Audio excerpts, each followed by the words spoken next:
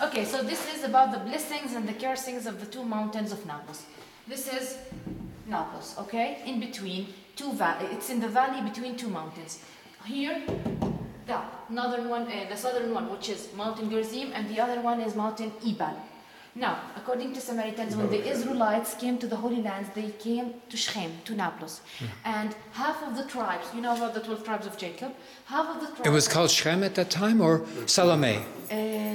Uh, no, The Shechem. Canaanite name was Salome. Yeah, but the name was like Shechem, I think. No, أنا ما عم أجيب But before Shem, it was in the Canaanite. شكيم اسمها كان شكيم بس قبليها ايش كان اسمها ما بعرف انا لا هي اسمها شكيم هي أسم- اساسا الاسم القديم تاعها سماها يعقوب شكيم لان هي على كتف Uh-huh. Okay, so I'm gonna talk according to Samaritans what they say about the name. It's called Shechem. Shechem means the shoulder, and it was named. acco- Uh, who named it? Yeah, Jacob. Jacob named Nablus as Shechem. Shechem, which means the shoulder of Mountain Gerizim. Ah, So now you know the meaning of Shechem. okay. The shoulder of Mountain Gerizim. So half of the tribes stood on the top of Mountain Gerizim, and the, ha- the other half on the top of Mountain Ebal. Now these who were here, they were blessing the people of Israelites who are following the, uh, the rules of the God and the Torah. Yes. But the others on Mountain Ebal were cursing anybody who doesn't follow the, uh, the rules of uh, like um, God and the rules of the Torah. That's why Mountain Gerizim is called the blessed mountain and Mountain Ebal is the cursed one.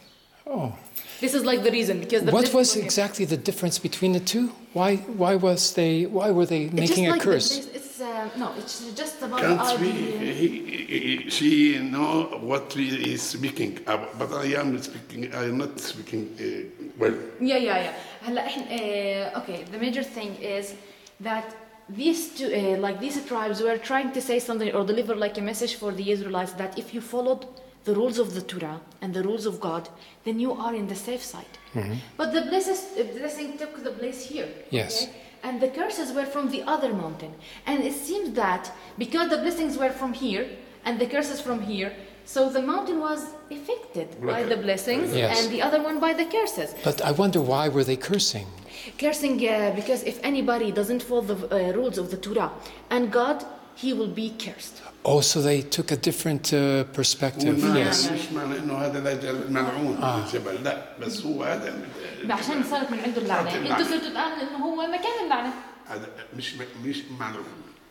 مكان اللي صارت اللعنه آه من هيك وضحت له على فكرة عشان تكون عارف يعني. بس إنه كأنه تاثر هلا مثلا كان حسن شو بيحكي؟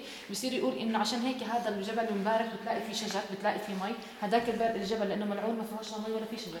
أنا مفهوم قرأت يعني. أوكي خلص أوكي. إحنا أنا طبعا أي شيء بنحكى لي بحكي زي مفهوم الخاص هو. بس ما أنا بقول هذا مش معنى إنه جبل لعنه إنه هذا بس لأنه هو البركة صارت من هذا الجبل وهذاك. اللعنه تمام yeah he's like trying to emphasize on a major idea that maybe the names of like this is a blessing one and this is a cursing one because the blesses happened here on this mountain and the curses happened from the other mountain but that doesn't mean like it's 100% cursed or this is you know what I'm trying to yeah, say but uh, why the Samaritans believe this is the blessed one or the choose one because uh, there's the verse in the Torah said uh, that God created the blessed on Mount Gerizim. That's why they believe it's the blessed one and the place for the Samaritans. Okay?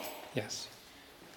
This is uh, ما خلوش شيء إلا صلحوه حتى الصحراء خلوها خضراء مش معنى نفس الشيء؟ نقول هذا اللعنة لأنه ملعون لأنه بيشتري شجر والنبي أنا والله هيك بس ما بحكي هيك لا بس شوف أنا ما حكيت البركه أنا حكيت له بالطريق يعني المهم المهم إنه عشان البركه صارت من هذا الجبل.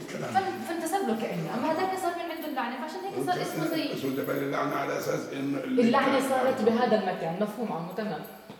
اصلا يعني هذا دخلت ما هو ذاك الجبل بس كان في الناس الثانيين بقول لك يعني ما دخلش ملكنا في- في ناس من علم الشعور عمو احنا سكننا هون سكننا هون عادي كله نفس الشيء كل الدنيا this is a very beautiful sculpture. كله كل بعض البلد مقدس اقدس بلد في العالم هذه البلد هذا مقدس اسمه ما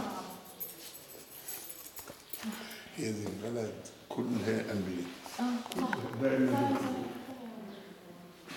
فيها كل الناس اللي معيشين مع بعض مبسوطين الحمد لله رب العالمين أنا عمري زرتكم الله يزرعكم كنت آه نسيت فيك مظبوط بس أنا ما مريش